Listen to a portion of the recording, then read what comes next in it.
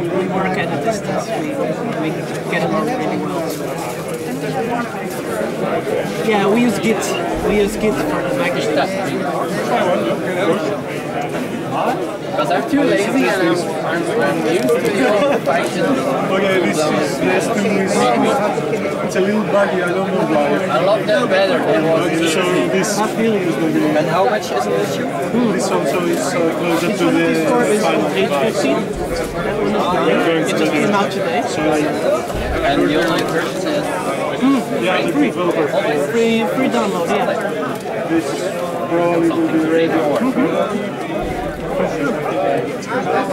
I've seen some some awesome uh, art projects with uh, Yeah, yes.